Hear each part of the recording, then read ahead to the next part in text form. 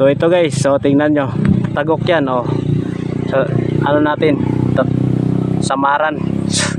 Samaran yan guys. Tumatagok na yan. Hi, welcome back to my YouTube channel. Oh, by the way, this is Anyasco Vlog. Please like, subscribe, hit the bell all.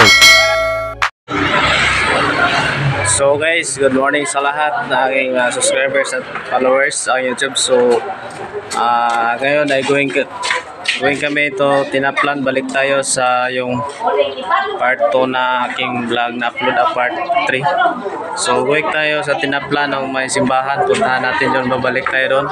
So hanap tayo ng magandang views doon sa taas. So ngayon guys ay mag-fellowship sila. So yan ay sasama lang tayo. Marami sila.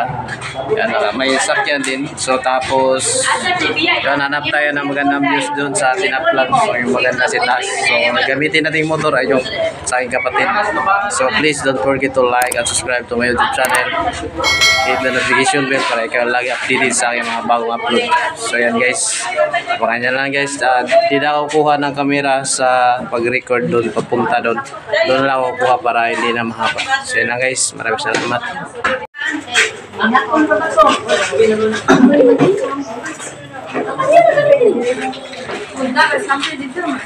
So guys, andito na ako sa aming pinuntahan na simbahan. Nandito dyan sa kalikuran. No?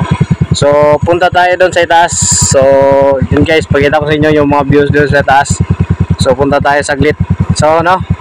Dito ko na lang ilagay ito.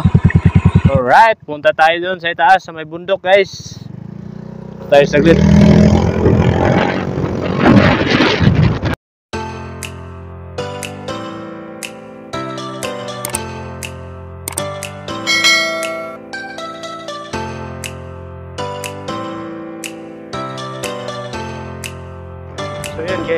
Guys, kita nyo dito is sa may GDP no pa to sa ah, parang ginawa na to ng tinampakan na to ng marami para dadaan yung mga sasakyan.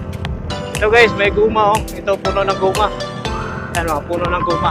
Tignan natin yan mamaya kung ah, balik natin. Punta muna tayo sa taas. So ito guys, parang national road to ito hanap na ako ng magandang views yung maraming bahay dito kahit nasa ano na sa bundok parang transintrato parang disease pero wala nakalagay na anong anong mga sign dito sa daanan.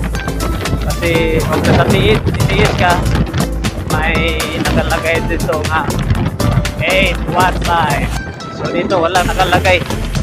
Tingin ko itong highway na to eh, iwan ko kung saan ito ah papunta. So hindi natin, hindi natin to puntahan doon kasi medyo malayo.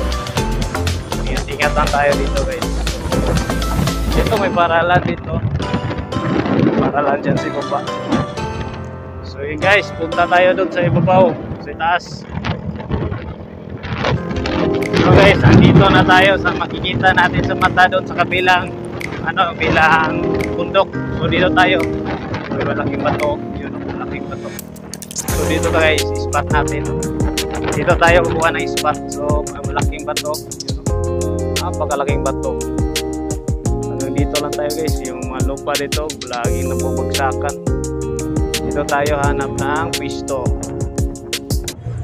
So yan guys, andito na tayo sa bundok. Ayun, sa kabila yung motor ko. So andito na tayo. Pakita ko sa inyo yung views. Uh, pakita ko sa inyo kung saan kami ah yung simbahan nila na yung sa kapatid ko sa mama ko kita namin medyo malayo na. Medyo malayo na yung simbahan. So andito na tayo agad sa kabilang bundok. So doon sa kabilang bundok pakita natin sa inyo guys.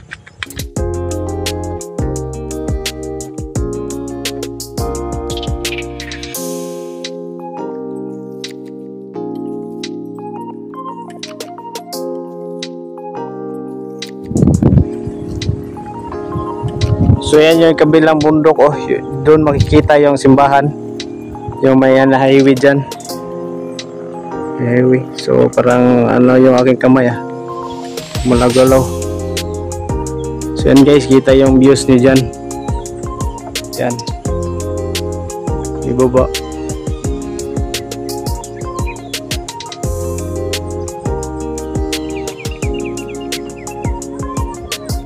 So yan yan guys, yung bundok. Nasa kabila tayong bundok no. Yun. Medyo dito magandang views. So, sa kabila ay bundok din. So, hanap tayo ng rubber dito ngayon. Makakita tayo, makadaan tayo ng rubber. Pakita ko sa inyo kung ano yung ah, rubber talaga. Yung pinagkitaan ng mga tao dito sa Mindanao. Yun kasi kadalasan na ah, may mga malaking lupa. Yun kasi ang tinatanim dito lagi kasi yan ah, pinagkitaan ng mga tao dito. So, yun guys, kung, kung ako ay sasahod sa aking YouTube, siguro pabibigay ako kapag marami ako makita no? Kasi hindi pa tayo nakasahod sa YouTube kaya please kung nanood kayo sa mga video ay wag nyo lang skip ang aking ads para naman makaipon tayo ng ah, revenue so yun guys. So punta na tayo doon sa aking kapatid. Baka nandun na sila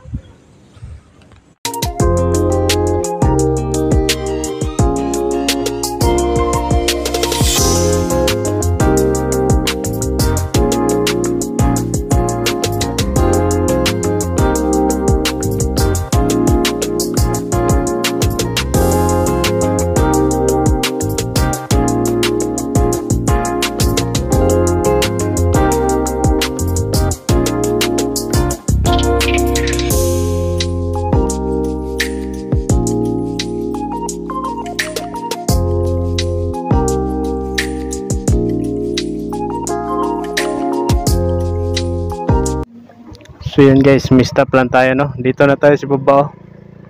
Dandahan lang tayo dito. Hanap ta ako ng guma.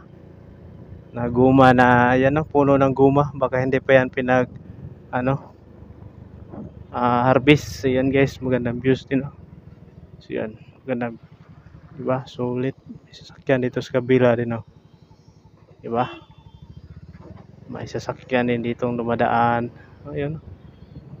Tawag nila dito yung sinunog na baol. Yan yung mga baol dito sa mga subanin. Sa subanin. Ito, ito may guma.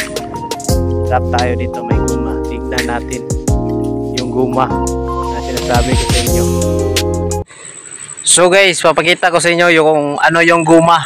So dito guys, guma na to lahat na nasa aking likuran. So pakita ko sa inyo kung anong ah, ginagawa ng isang puno ng gumara. Ito ay tinatawag na rubber.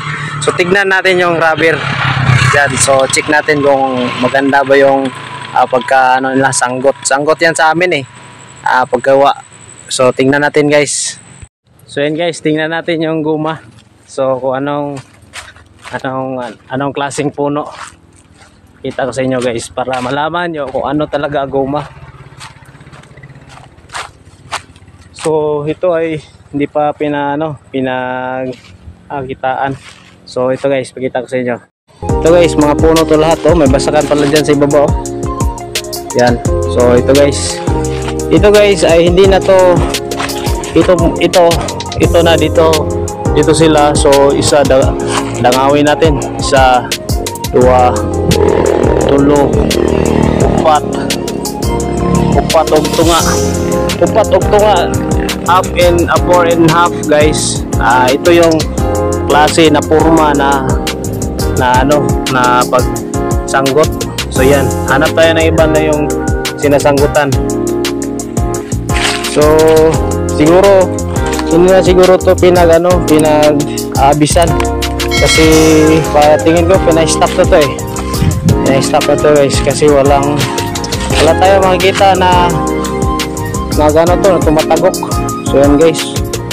Yung kagandahan dito sa probinsya. Ito lahat ay naka ano to naka street line dito so mapansin nyo guys ay street line yan guys. Pag nagtanim kayo ng puno ng guma. So yan. Parang kiwa lang aking kamay no? So wala tayong nakikita na may may sanggot ah. So yan guys. Wala tayong nakita na tagok sa puno ng guma kasi tingin ko po, wala na siguro nagano nito sa Bisaya sanggot. So yan guys ah, iwan ko sa Tagalog na uh, nagtatrabaho. So wala na nagsanggot dito. Yan guys pag sina pag ito pag ah, kinurit mo ito tingnan natin pag kinurit natin ito ay ito ay tatagok talaga. So tatagok ito guys hanap tayo ng may may bukol may bukol sa kunti. Para tingnan natin, para makita nyo kung ano talagang guma, no? Kita natin ito. So ito guys, so tingnan nyo. Tagok yan, oh. So, ano natin? Ito, Samaran. Samaran yan guys. Tumatagok na yan. Yan, ipunin mo lang yan yung, yung dito, yung pag tinatamaan mo yan guys. Ganyan, hanggang dito. Ah, 45 45 degree lang ito. 45 degree. Pag 90 ka dito ka kukuha sa taas paibaba. So yan ang 90 dito ito 45 degree lang. So yan guys oh, kita nyo na. Tumatagok na yung ah, puno. Di ba? Sobrang lupit. Yan. Ito ay tawag na ditawag dito sa amin ay pahak na to. Pahak. So kinain ng sanggot yung ah, balat. So yung kahoy. So yan guys. So tumatagok na yan ang di pinakitaan dito. So ipunin niya lang lah- lahat yan. Pupuno ito dito. Oh. may lalagyan din sila. Yan may lalagyan.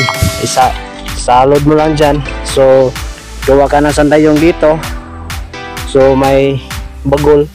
Yan mo yan siya ilagay. Punin mo yan lahat. Tapos bukas o kuliktahin mo yan bukas o baka ilang araw.